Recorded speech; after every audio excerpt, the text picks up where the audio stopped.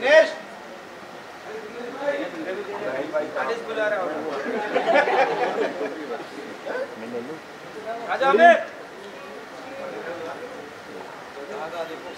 लुकियो। Centre centre camera centre camera.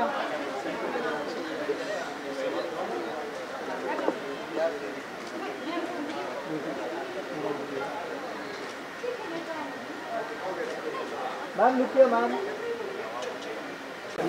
Salesh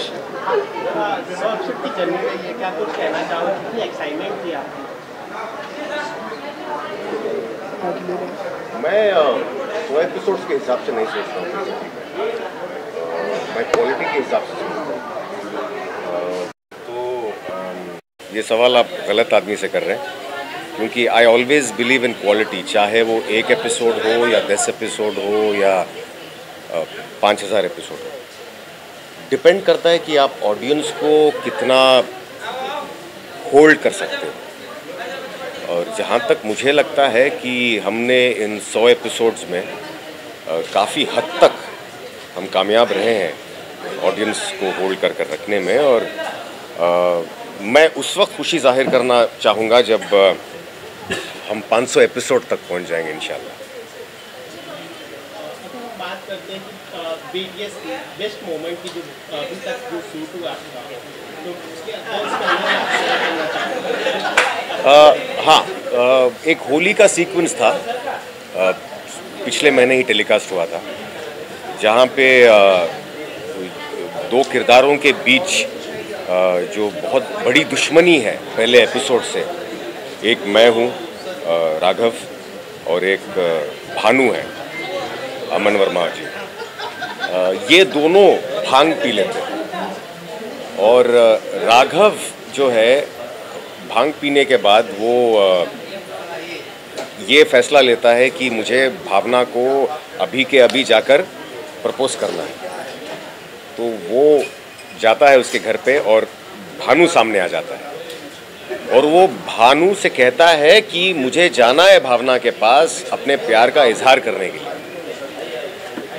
और एक point पे हम ऐसे दिखाते हैं कि ऑडियंस को ऐसा लगता है कि भानु अभी उसको पकड़ के धोने वाला है।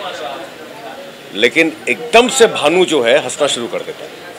और वो दोनों गले लगते हैं और उनका एक बहुत बहुत प्यारा सीन है, जो लगभग 11 मिनट का सीन था, जहाँ पे भानु अपनी लव लाइफ के बारे में बात कर रहा है और राघव उसको उसको सुनकर वो रो रहा है। तो और वो इतना प्यारा था कि, कि जब दो जो बहुत सबसे बड़े दुश्मन जो हैं जो ऐसा उन दोनों में व्यवहार होता है तो वो एक मेरे लिए एक बहुत ही अच्छा अ, एक मोमेंट था शो में फ़िलहाल।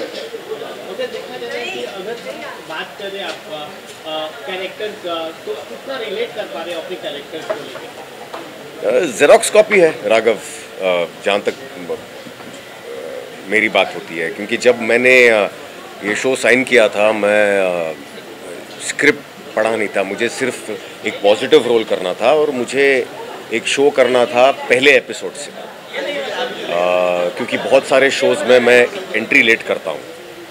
तो और मुझे बॉम्बे में शो करना था मैं आउटडोर करने में विश्वास करता नहीं हूँ।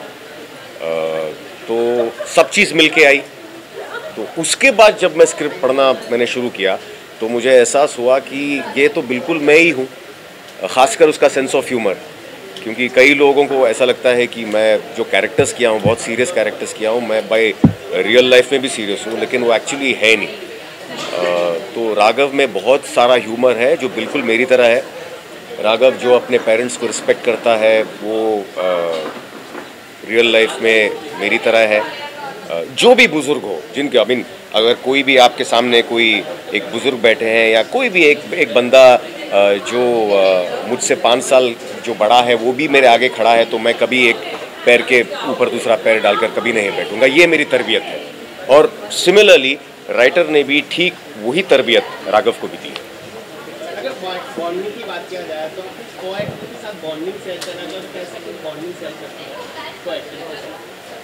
सबसे पहले कंफर्ट लेवल होता है। अ, एक एक्टर को सामने आपके को एक्टर को आप कंफर्ट करना बहुत ज़रूरी है। अ, तो मैं भी जब मैंने करियर शुरू किया मैं भी जब सब सीनियर्स के साथ काम किया था मैं तो बहुत सारे थे जिन्होंने मुझे बहुत कंफर्ट करवाया। बहुत सारे थे जिन्होंने नहीं करवाया।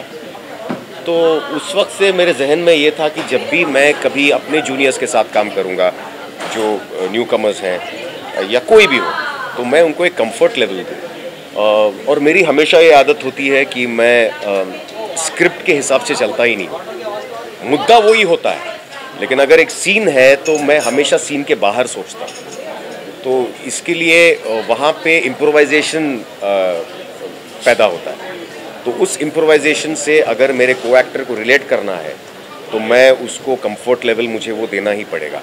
और अब तक तो अल्हम्दुलिल्लाह सबको एक्टर्स के साथ मेरी बहुत अच्छी बॉन्डिंग है, क्योंकि वो खुद अच्छे एक्टर्स हैं।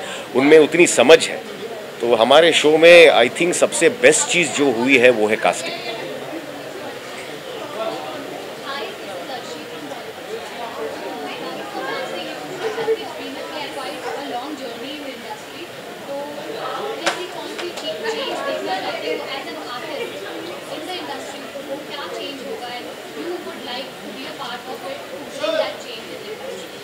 Uh, I uh, definitely believe that uh, uh, first of all uh, ये जो हफ़्ते में छः दिन टेलीकास्ट होता है that should not happen. Uh, focus should be more on the quality. Secondly, there should be start to finish shows. Uh, जैसे अभी ओ में आजकल आ रहा है उतना ही कम नहीं ओ में बहुत कम एपिसोड्स होते हैं लेकिन से hundred episodes start to finish कई लोग लोगों ने किया है कोशिश शुरू करने के लिए, लेकिन अनफॉर्चुनेटली वो ऑडियंस एक्सेप्ट ऑडियंस ने नहीं किया है। लेकिन जब आप ऑडियंस को दिखा वही दिखाना शुरू करोगे तो वो ऑटोमेटिकली उससे जो है एंगेज हो जाएँगे। हंड्रेड एपिसोड या one fifty episode start to finish तो उसमें कोई भी चीज़ रेपिटेटिव नहीं लगेगी। उसमें हर सीन एक नया सीन होगा। ऐसा आपको नहीं लगेगा कि ये सीन मैंने पिछले सात साल पहले एक शो में किया था। तो ये अगर हल्की चीज़ें अगर चेंज हो जाएँगी ना आई थिंक uh, पूरा पूरी क्वालिटी चेंज हो जाएगी टीवी में। मैं ये नहीं कह रहा हूँ कि अभी क्वालिटी है ही नहीं है लेकिन आ, uh, उस उस उसको जगह नहीं दी जा रही है ग्रो होने के लिए।